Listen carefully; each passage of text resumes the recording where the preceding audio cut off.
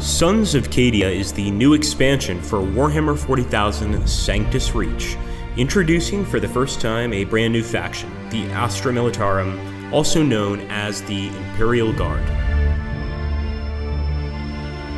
In Sons of Cadia, you will command a varied force of Imperial Guard units. Infantry will play a large role, with plenty of guardsmen at your disposal and ready to die for the Emperor, highly trained Tempestus Scion specialists, and even the bulky Ogryns and Bullgryns. But the Astra Militarum truly shines at mechanized warfare. Make use of powerful vehicles and tanks to crush the enemies of the Imperium.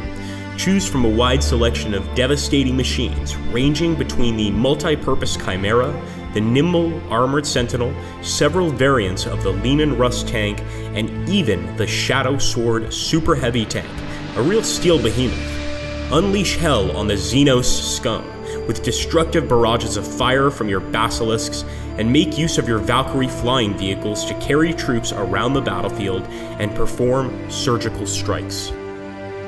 But where would the Imperial Guard be without its valiant commanders and officers?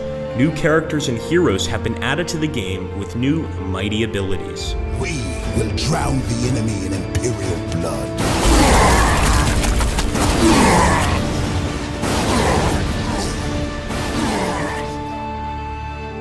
A new epic story based campaign, 27 new units, new abilities and progression system, a new tile set, Sons of Cadia is a massive addition to Sanctus Reach. Are you ready to do your duty?